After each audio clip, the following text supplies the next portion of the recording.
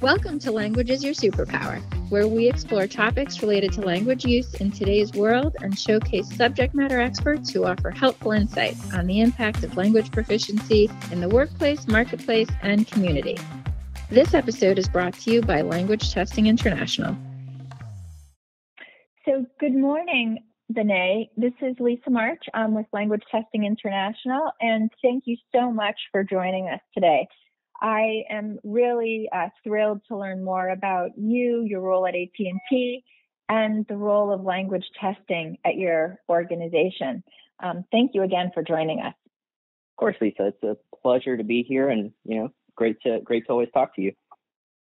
So, Vinay, in your role as a senior IO psychologist working on the HR research team, can you give us some insight into the kinds of things that you do in your role and some background on how your coursework supports the work that you do every day? Sure. Yeah. So um, I guess I'll approach this uh, chronologically. So my my background is in industrial organizational psychology. I have my master's degree and my doctorate from Louisiana Tech University. Um, basically, after uh, you know, completing my master's, I've been consulting internally and externally for about four years, you know, spanning across both public and private sector. Um, and, and the bulk of my experience has really been in the employee selection and assessment development and, and validation area. So um, pretty much what I do in AT&T really deals with that space, right? Uh, I, I serve as an internal consultant and partnering with stakeholders from across the business, um, you know, lead various projects that have a, a direct impact on our customer experience. Um, so my the team that I'm on focuses on the development and maintenance of these assessments and really other quantitative and, and qualitative tools that are based on the science of IO psychology and, and the research. Um, and they're really used across the business. Um, so you know, it's it's pretty much a one to one translation of, of where my educational background is and and really what I do here uh, at at AT and T. It really sounds like important work, and and I know congratulations, you recently uh, graduated. Um, you got your degree. Tell me a little bit about tell me a little bit about that, and and uh, what it is that that you study, and maybe how long you study it for, and not just the advantages to the business in terms of ensuring that your staff is well prepared, but it has to be great even for the employees to have a way to benchmark where they are and maybe where they want to go.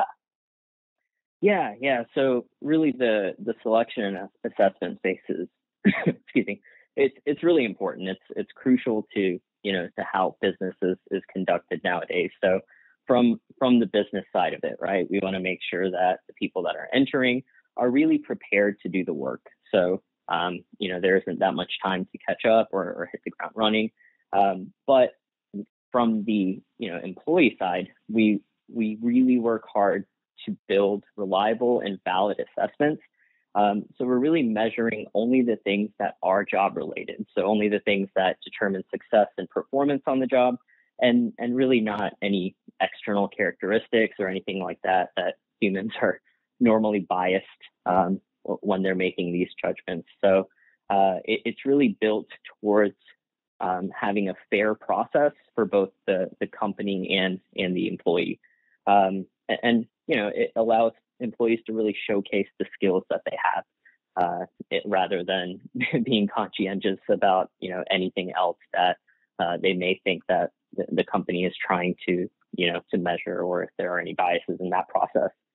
But um, t- talking a little bit more about the the educational aspect, um, it, it, takes anywhere from you know three to uh, well, how, however long it takes for you to to finish and defend your dissertation. But there's about over 90 or 99 hours of co- coursework that goes into uh, becoming an IO psychologist. So um, especially within my experience, uh, we, we, you know we study both sides of, of I and O, um, and and not just focus on on one aspect because it's it's it's a field that that looks at both sides of the coin, and you know it gives us a more accurate picture of of how to apply our science and, and practice of psychology in the organization. So ultimately, all of that builds to, as as describes it, you know, building a smarter and, more you know scientific based um, workplace.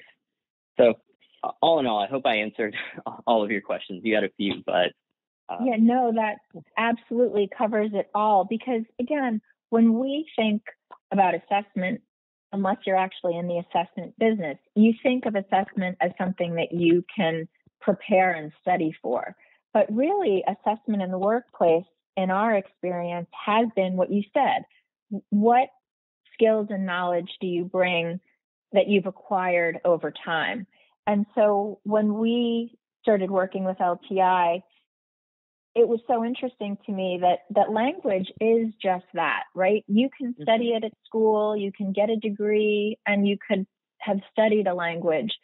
But in order to really uh, measure what you can do with language, you need to have a fair and reliable assessment instrument and process. Mm-hmm. And so if you could tell me a little bit about, you know, how you use language testing to to measure and assess all of the things that you described and to make it a fair a fair process. Yeah, so you know, I'll start I'll start from the beginning here. I I speak three languages myself, in, including English, and um, I'd say I'm probably the most proficient in English. Uh, although Gujarati was my first language and, and Hindi was, you know, kind of learned uh, alongside of English. So if just putting myself in the scenario, if I was interviewing for somebody uh, for, for a job that requires them to speak Hindi proficiently, I will, I'll be honest, I think I speak it well, but whenever I do uh, speak it to people that are truly proficient, they're they're looking at me like, wow, you you butchered pretty much every every word or sentence that you said. So if I am using my judgment of what I think is good in any selection process, it's going to be flawed. I'm going to select people that you know are are similar to my level, and that may not really meet the demands of the job. So, you know, it's it's especially important for us to use a, a reliable and, and validated test that are based on standards um, to, to really assess proficiency because you know we all we all think we know what's good but the question is is it is it really good? Um, and so until we study that and until we have that standard you know we we really can't say uh, that we're measuring proficiency here. And so the the way that language testing is you know is used here is, is primarily within customer facing positions. So that that would be you know call center and, and retail space. Excuse me. Understood. So, oh, sorry, I had to cough. No, I was going to say no worries, no worries. Understood.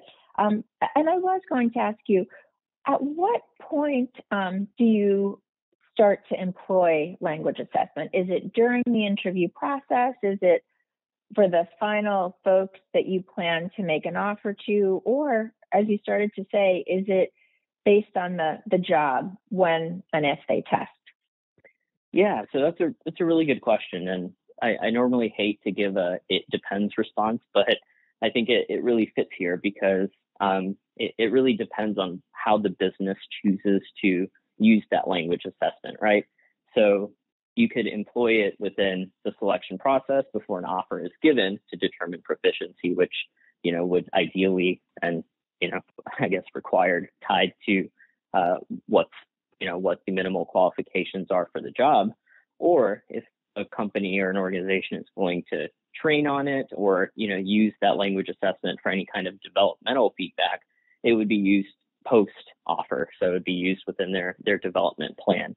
Um, so speaking of, of just the selection part, um, you know, that's that's another decision that somebody at the, the on an HR team or an assessment professional would have to make is really what makes the most sense. Um, you know, you have costs to consider. So if you're really in a high volume, you know, space, it, it's probably not the best idea to implement a language assessment right in the front and center when there might be other qualifications, other minimal qualifications that you know would would be prioritized over it. So, um, you know, to to kind of wrap that up, it it depends on on costs. It depends on you know the, the strategy for selection, um, or you know it depends on if you just want to use it as a as a developmental tool to kind of shape the person into a role. That makes sense. That that makes a lot of sense. And so when you think about how you go about choosing the most the best partner to mm-hmm. deploy assessments with, what are the kinds of things that you make sure are criteria for your selection process in picking assessment partners? Yeah, so first and foremost, I, I want to make sure that the tests that they are using or, or have developed are are reliable and valid. I want to make sure that data has been collected on how you know how good they are at doing what they're supposed to be doing. Um, so really, they have to be demonstrated. And the, the second step would be to uh, make sure that you know there is room built in for validating these assessments locally. So I'd want data from you know the people that are applying at this company and um, and, seeing how the test functions as well and, and monitor that as we move along. But the the other thing that that is something to consider is is cost, right? So it, it's it's a business, and you want to make sure that um, the test ultimately is providing utility. So if if the costs are are you know right where they're supposed to be, and you are getting you know enough juice for the squeeze, that's that's something that that I would consider when when choosing an assessment partner. Um, third thing would be, you know, time to hire is a very important metric. We want to make sure that our candidate experience is as positive as possible. Um, so, you know, I want to make sure that the scores that are turned around, um, so the amount of time time that it takes for us to know if a candidate is qualified or not qualified in, in a particular language has to be fairly quick. Um, and the way that the candidate interacts with it and walks away from the assessment um, you know, I would want data around around that if they if they view it as a positive experience or if they viewed it as something that was unfair and um, you know really not job related. So um, to to kind of take another step in in IO psychology, you know, we we measure different types of validity, um, and the one that's you know often ridiculed by academics is face validity because mm-hmm. basically it's looking at a test and saying, yeah, it looks like it's measuring what it's measuring. Um, but that's really important from a candidate standpoint, right? So if you're applying for a job, let's say you want to be a forklift operator, and I'm asking you questions that have nothing to do with forklift operations, you're not going to think the process is fair. I could have all the science behind it that says that it predicts performance, but if candidates think they're being cheated out of something, that's not something your company wants to um, you know, necessarily endorse or, or use. Absolutely. So that's really, I would imagine, critical in fair assessment of what someone can do with their language skills based on the job. And so at AT&T, do you have custom language assessments that you're deploying based on a job or do you work with somebody at LTI to ensure that the questions are appropriate for the either the level of job or the type of job? Yeah, so um, you know, before implementing any kind of, of assessment, again, um, we want to collect data to ensure that you know the assessment is valid and reliable and job related. Um, so you know that was one of the first things that that was done is to determine uh, you know relevancy to the position, but also at what level does the language need to be spoken to kind of meet the minimal qualifications, right? So we want to make sure that the people, excuse me, the people that are coming in through the door can can communicate with the customer in another language if if they have to, and that they provide a good customer experience. So the decision is made at, with with the customer at heart. Um, so really, those those two things are are absolutely necessary um, you know, making sure that the customer is is happy with with our service, but also making sure that we are doing you know everything in our step to to ensure that um, all of the things that the test is measuring are, are tied to the job. Right. We deal a lot with test takers, right? People who have uh, taken the test and gotten a certificate. And so often we hear that they're really able to leverage their language credential in either getting a job or getting a promotion. Mm-hmm. And they really do appreciate the fact that it was done by a third party and that the test is very practical, right? Mm-hmm. If it's a speaking test, um, then they have an interview via a call. If it's a writing test, they're writing prompts that are typically related to a pre survey questionnaire, and the same for reading and listening. And right. at the end of the process, they have confidence. This mm-hmm. certificate mm-hmm. gives them the confidence, like you said, to know that if they're saying they're proficient and they're going to be exposed to um, tasks that require a certain level of language, that they can go into the job knowing they've checked all the boxes that are required. And so it really is both sides, I think, benefit from having this um, unbiased opinion. Do you, I, do you agree? I agree. Yeah, I agree. I think, you know, it, it does in turn provide a credential, right? You know, whenever you pass the SATs or, or GRE or something like that, you know, if you get a high score, you're, you're proud of it. It's like, this this was a, a measure of you know aptitude and and this is where I lie. Um, uh, of course, the the the opposite would probably be true if they're really not proficient. But um, you know, I, I just realized I didn't answer one of your other questions in terms of of how you know how how it's used here. Um, so you know, within the call center and, and retail spaces, we do we do ensure that the questions that are asked are are really you know, custom to the business. So they are, you know, conversations that you would have in a call center space or conversations or topics that would come up in a retail space. So um, it's not really just general how well can you speak or you know if you're using slang terms or anything like that. It's it's really specific and, and tied to the business. It really is amazing. I'm sure there was a lot of work done to be sure that the assessment um, met the needs of both the business and the employees. One of the things that we uh, sometimes, I don't want to use um, struggle with, but some of the conversations that we have on a pretty regular basis are, oh, Vinay speaks Spanish. I'm going to go. Um, what we do at our company is we have Lisa interview with Vinay for 15 minutes. And if he says that she's proficient, then we trust his judgment.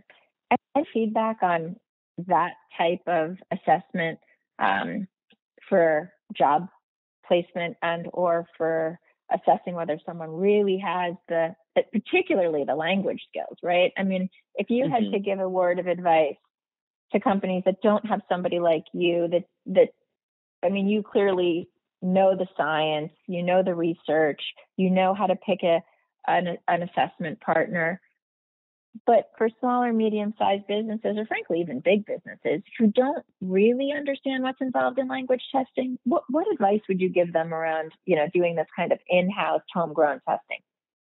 Yeah, so this this goes back to the the, the Hindi speaking example I gave earlier here with uh, you know, uh, if if I think that I speak it well and the person I'm interviewing is speaking currently at the level that I'm speaking, um, you know, it, it might not meet the needs of the business or, you know, really the, the levels that's required to be successful on the job. Um, so for, I don't want to, you know, just blanket cross out homegrown assessments because if, if the work has been done to tie it to job relevancy, um, if they've developed rating criteria on, you know, what, uh, you know, what proficiency is and they have all of that clearly defined, um, then you know, good. But for for somebody that doesn't have the background to really tie that in there, um, to tie what what actually is proficient and what's not proficient, if they're not using um, you know standardized criteria or something like that, you could really be getting yourself into a, a quite a bit of trouble, right? Um, you know, you could be assessing things that uh, seem like you're assessing language, but you know, it, it could be it could be full of bias here and there. Um, so really the advice that, that I would give is, um, you know, be careful with, with homegrown assessments. Uh, really, if, if you're trying to measure language profic- proficiency, do do your research. So go go online, see what language proficiency is, what what's uh, how it's defined, um, what's required within your company, um, all that kind of stuff. There's a lot of things to look at here before you just dive in and, and make a homegrown assessments. And and the good thing about you know some some vendors are that they've they've done that work. It's it's their bread and butter. They use standard measures of what proficiency is. Um, you know, they've done a lot of the the research on the back end with different languages. Um, so it, it, might be a lot easier than than trying to develop something, you know, in house. Agreed. Language Testing International works very closely and administers ACTFL assessments. So we are the exclusive licensee of ACTFL. And like you said, it is years and years of research and subject matter expertise and norming tests and making sure that they're valid and reliable. And I think we've crossed, you know, six million test takers um, over the last 27 years. So it isn't something that's necessarily easy to um, to to instrument and curate and devise without a ton of subject matter expertise and people, right? Taking mm-hmm. the test to to really understand uh, how to ta- how to calibrate them. So I really appreciate um, all the insight that you've given us into how you're using language testing at, at AT&T, and we're really looking forward to maybe presenting with you at a conference and learning a lot more about the science um, of language testing and, and how it really does uh, provide a tremendous benefit not only to the company but to the employees and and ultimately to your customers. So we've really enjoyed our time with you. It's been super informative, and we welcome you back to a another segment. I want to do a um, bias testing testing bias and and how we can mm-hmm. help eliminate that. You sound like you certainly know how to make sure that that it's all a very um, fair process. And that's certainly a, a, topic that we're always really interested in. So thank you, Vinay. Thank you so much. Um, we look forward to speaking to you again. Of course, I'm I'm happy to help. I had a lot of fun here, and you know I'm excited for the uh, you know our our upcoming opportunities to work. So thank thank you for having me. Have a great day. You too. Bye. We hope you enjoyed this episode of Language is Your Superpower. If you have any questions or need immediate information regarding how to assess your personal level of language proficiency or the skills of your employees, visit our website at www.languagetesting.com. Thanks so much for joining us.